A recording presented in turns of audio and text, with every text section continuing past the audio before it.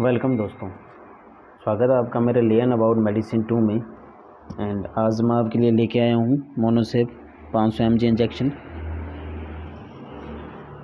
जो एक antibiotic injection है। और सेफेरियाक्सोन इंजेक्शन आईपी जो डॉक्टर द्वारा पेशेंट को दिया जाता है। जब उसको प्रॉब्लम होती है। तो आइए जानते हैं इसके यूजेस के बारे में। एंड उससे पहले सब्सक्राइब कर लीजिए मेरे चैनल को अगर आप मेरे चैनल पर नए हो, एंड लाइक कर लीजिए ताकि नई नई वीडियो नोटिफिकेशन आपके सामने आती रहे। चलिए वीडियो शुरू करते हैं। ये मोनोसेव पाँच पाँच सौ एम जी आई वी या आई एम में आप यूज़ कर सकते हैं। और ये डॉक्टर द्वारा पेशेंट को तब दिया जाता है जब किसी बच्चे या बड़े को खांसी हो या छाती जाम हो, कफ जमा हो बुखार हो, फिर भी दे सकते हैं। यदि किसी के चोट लगी हो तो उसको घाव भरने के लिए दे सकते हैं। यदि किसी के कान में पैन हो रहा हो तो डॉक्टर द्वारा ये दिया जाता है। एंड यदि किसी के बच्चे के या किसी बड़े के चोट वगैरह लगी हो तो डॉक्टर द्वारा ये दिया जाता है उनको।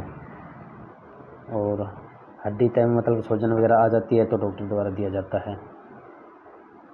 यदि कोई फुंसी वगैरह हो तो उसको सुखाने के लिए डॉक्टर द्वारा दिया जाता है। ये एक एंटीबायोटिक इंजेक्शन है और डॉक्टर की राय ले बिना आप ये ना लें। और बेस्ट इंजेक्शन है मोनोसे पाँच सौ एम जी।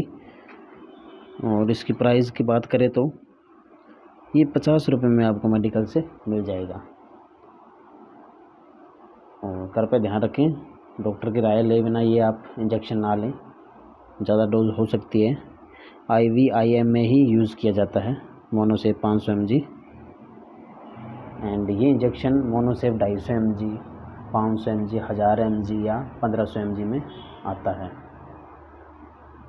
तो आप यदि बुखार हो या खांसी हो, या किसी के चोट लगी हो कफुंसी वगैरह हो, गले में दर्द हो, कान में दर्द हो, आँख में सोजन वगैरह हो या किसी चीज़ की आँख में लग गई हो तो आप डॉक्टर से राय लेके इंजेक्शन लगवा सकते हैं।